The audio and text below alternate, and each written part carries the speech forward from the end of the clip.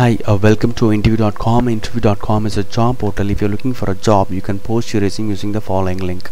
In this video, I'm going to explain you three important Java interview question. First question is, can we override static static methods of a class? Please remember we cannot override static methods because static methods belong to a class and not to individual objects and are resolved at the time of compilation not at runtime.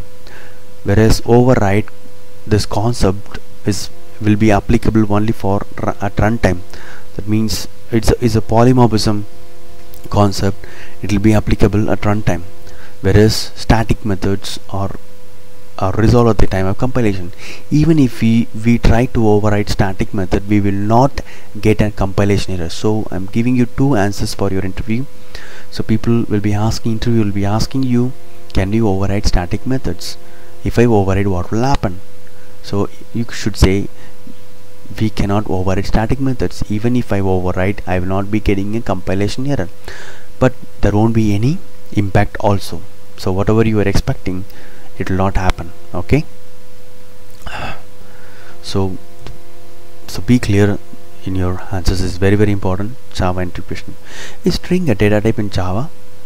String is not a primitive data type in Java. When when a string is created in Java it's actually an object of Java lang string class that that gets created. After creation of the string object all built-in methods of string class can be used on the string object. So you should this is this is a tricky question because you might think there's a data type. No it's not it's not a data type. It, uh, it is a class and it has a lot of methods that you can reuse in your application.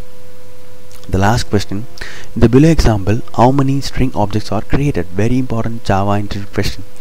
In the above example two objects of string class are created. S1 and s3 are referenced to the same object.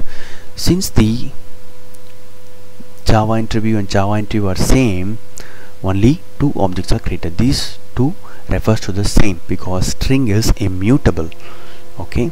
Internally there is a there is a string constant table is there. So s1 and s2 refers to these two objects. So only one java interview string is created and these two s1 and s3 refers to it.